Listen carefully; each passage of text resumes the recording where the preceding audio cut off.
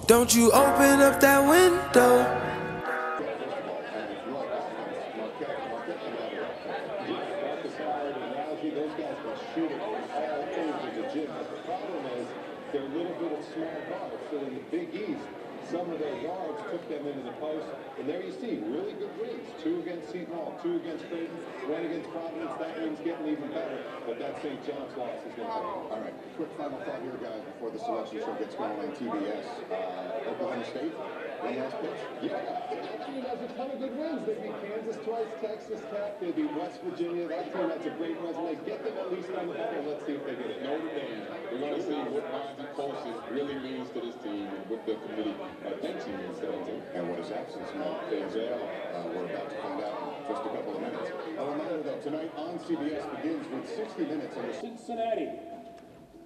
From the Atlantic 10, Davidson's Wildcats. They're here, 21 and 11 record. And then the Sun Belt, the winner of the NCAA or the, uh, the Sun Belt Championship, the Panthers of Georgia State. Continuing from the West Coast Conference, Gonzaga's Bulldogs, no strangers to the postseason tournament. The Metro Atlantic Conference champions, the Gaels of Iona, check in with a 20 and 13 record. The Kansas Jayhawks, how many times have we heard the Kansas Jayhawks were in the NCAA tournament out of the Big 12? And from the Southeastern Conference, the Kentucky Wildcats.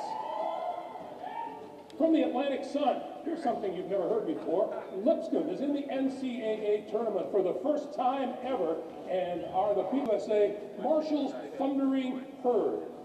And that rounds out the top half of the AQs, right? So there were 32 of those, and you've done 16, so easy math. Thank you very much. That's why we have the last three already. Uh, the Michigan Wolverines, an impressive run to the Big Ten Championship. They are in. How about the Montana Grizzlies, their first NCAA tournament since 2013 out of the Big Sky? The Murray State Racers out of the Ohio Valley, uh, their first time since 2012 after winning the Ohio Valley Conference tournament, beating Belmont by 17. How about the North Carolina Central Eagles out of the MEAC and their head coach, LeVelle Moton, the greatest nickname ever, Poetry in Moton, and Central is in. New Mexico State's Aggies. with the head coach and a program record, 28 wins. They go 28 and 5. You talk about a heart-stopping tournament championship game today in the Ivy League. How about Penn knocking off Harvard? First win there, 0 and 2.